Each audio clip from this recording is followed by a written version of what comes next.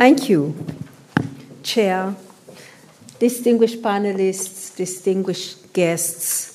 I'm so delighted to be here, and I want to thank very much the Institute for International and European Affairs for inviting me to speak here. I must first introduce myself by telling you about that I have I'm proud of my Irish roots. That, um, like you, I was educated by the very best Irish educators. That I went through the hands of Irish women from the age of five until the last day I left university. I was always taught by Irish nuns. So names like Paddy Maguire, Teresa O'Connor, Mary O'Reilly. These are the names of the people who taught me. So I'm proud to be here and delighted to be speaking with you. I joined Oxfam 18 months ago. I have been looking since then for an opportunity to come to Dublin and was particularly honored to be invited at this prestigious institute to speak on the topic of inequality. I grew up in Uganda. I'm Ugandan, in a little town. When I was growing up, my parents were teachers. We didn't have much. But my parents were teachers, so we were the better off people in the village. I had a pair of shoes, one. Every year, my mother got me one pair of shoes. I walked to school, I had this pair of shoes, but my best friends didn't have shoes. They walked barefoot. I didn't understand why. I still don't. I used to hide my shoes in my school bag just to be like everybody else. But I, I couldn't understand why I was better off than the rest of the people in my village. That question continues to bother me. And for many at Oxfam, we come together because of our strong sense of social justice, of wanting everyone to have a good living. So, Oxfam International is a confederation of 17 member organizations.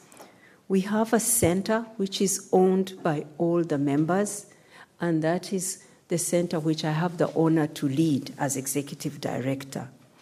Oxfam Ireland was a founding member of that international confederation and it plays a key leadership role in shaping the future plans of our organization and in delivering our vision. I'm particularly delighted to be here with Jim Clarken my colleague, who is the head of Oxfam Ireland and who leads in our confederation on the post 2015 development agenda that you have just been talking about and on other issues that we work on with the OECD and in other areas. I'm also delighted to be with the chair of Oxfam Ireland, Etta Campbell, who's here with us. So, together, we are part of a global movement for change. We work to empower people to create a future that is secure, just, and free of poverty. We live in a complex world. I'll give you an example from Africa. On April 6th this year, Nigeria suddenly became Africa's largest economy. Using new data, Nigeria, Nigeria recalculated its GDP, and overnight it shot up by 90%, leapfrogging the previous leader, South Africa. You can't understand this, there's some competition there in our continent. So, so you, Nigeria became the richest country in Africa. The average Nigerian's annual income almost doubled at the stroke of a pen. Nigeria's movie industry alone became worth more than $7 billion a year, its oil industry 10 times that. Yet, despite these magical recalculations, and despite the real and rapid economic growth in recent years, what didn't change was the fact that most of the 170 million people in Nigeria still live on less than $1 a day. and the number of people in poverty has actually been increasing. Unemployment in that country is huge. The lack of development is generating violence and social instability in the north. I'm sure you hear about Boko Haram and in the Delta region. So, globally, we should recognize that poverty, the geography of poverty, is changing. Most poor people no longer live in poor countries.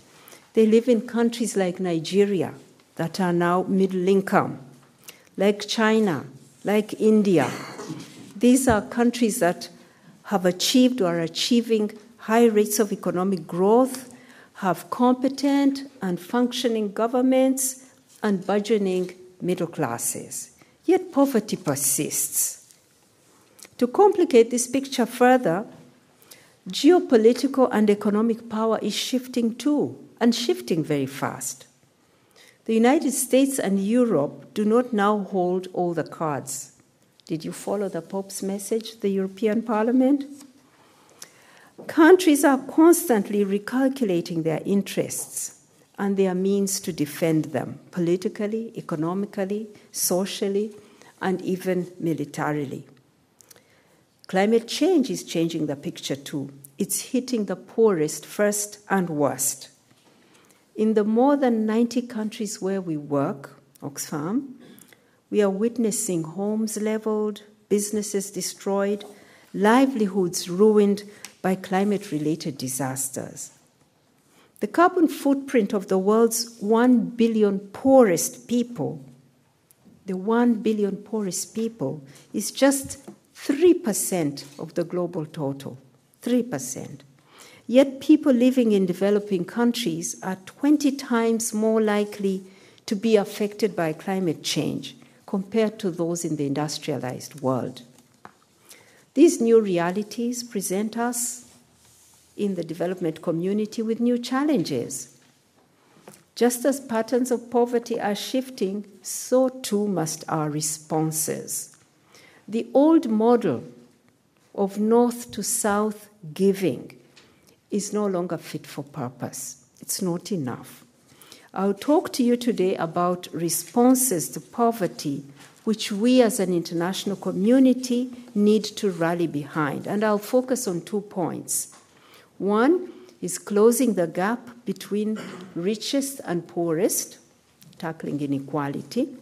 And two, supporting citizens to hold their governments to account.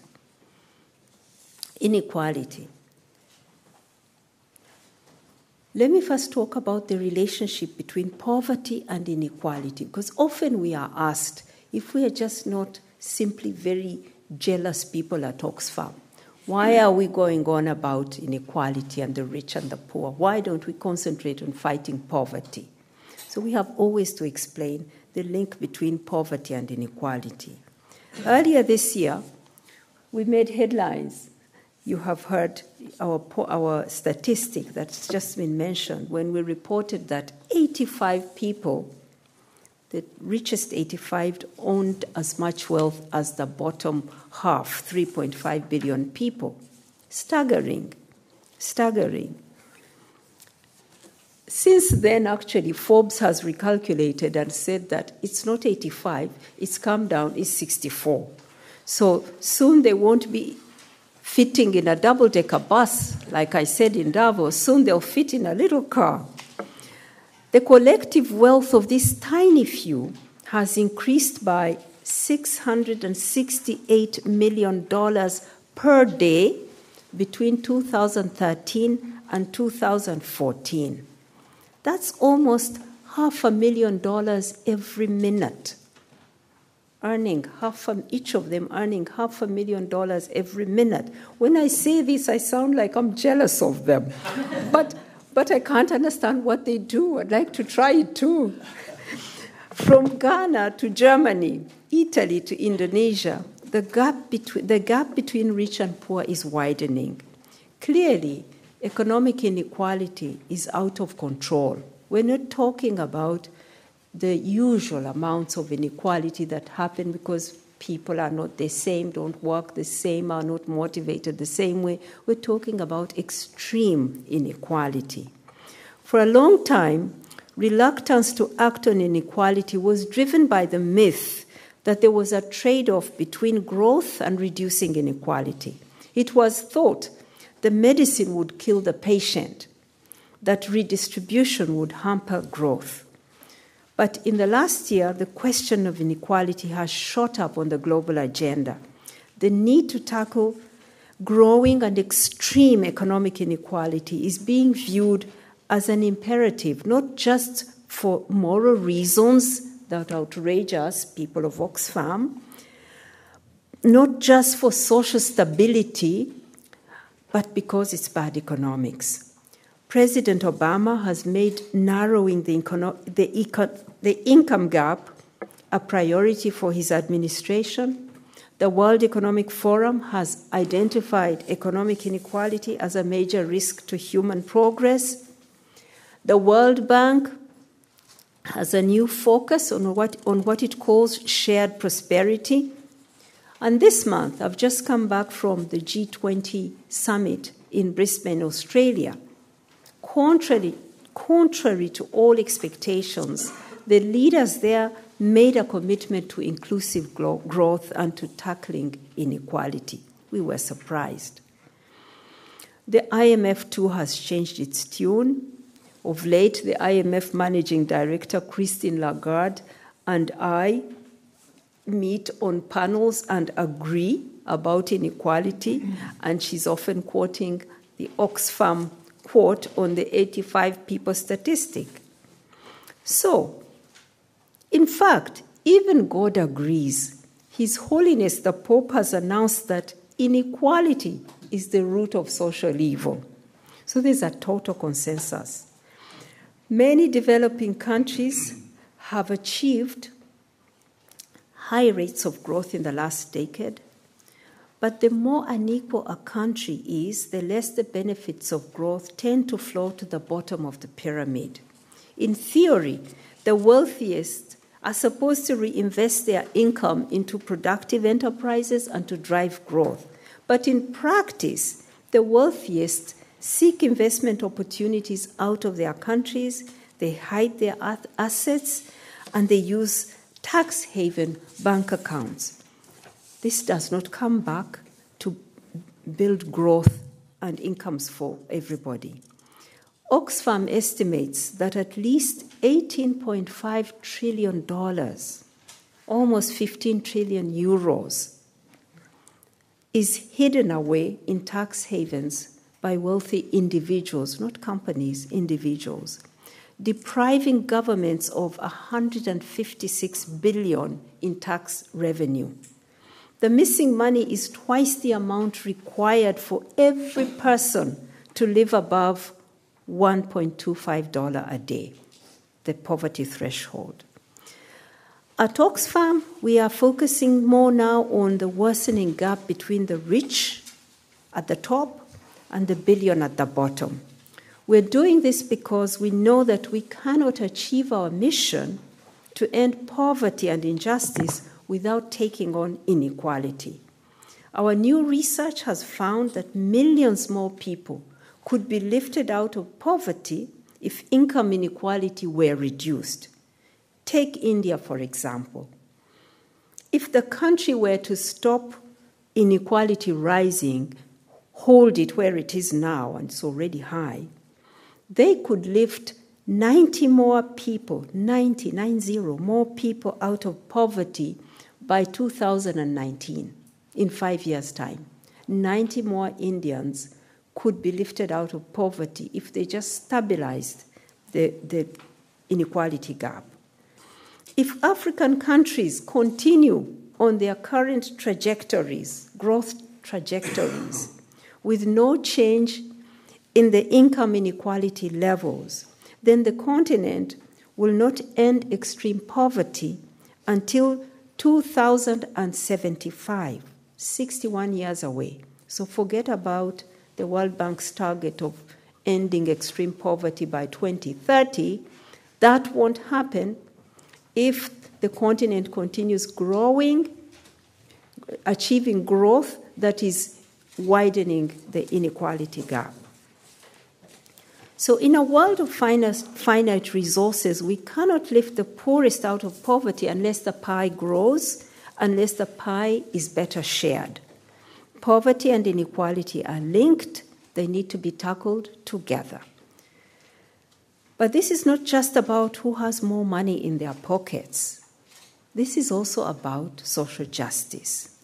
The good news is inequality is not inevitable, it's a result of political choices, and solutions exist. My colleague Jim Clarken will speak to some of Oxfam's proposed ways forward on tackling inequality. A question I will ask now is who decides how much inequality is too much inequality? Who decides? For us at Oxfam, the answer is simple it's ordinary people. The extreme concentration of wealth that we see in the world today tears apart the social fabric. Ordinary people have taken to the streets to say the gap between rich and poor is too big. We've seen, we've seen this across the glo- globe. Ordinary citizens saying enough. From America to China, people have been rising. This brings me to my second point on governance and accountability.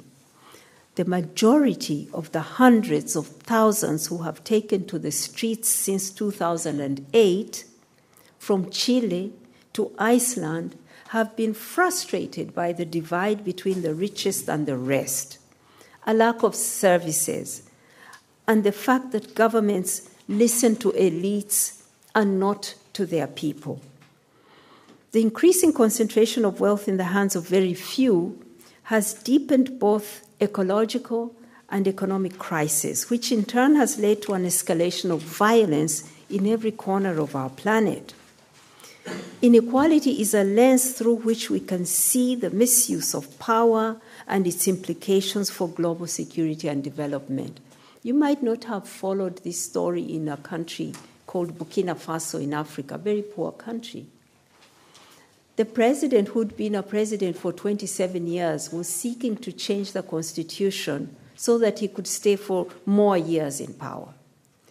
He had already made a deal with parliamentarians who also were hoping to change the constitution to stay also longer in parliament young people came and burnt down the parliament before the parliamentarians could make change the constitution burnt down the parliament that's what we mean that people are rising because they find that the political process has also been hijacked by those who are by political elites so inequality is all about who does and doesn't get access to political power who gets the good jobs, who gets justice, who is secure, who gets food and land, health and education, and to life opportunities.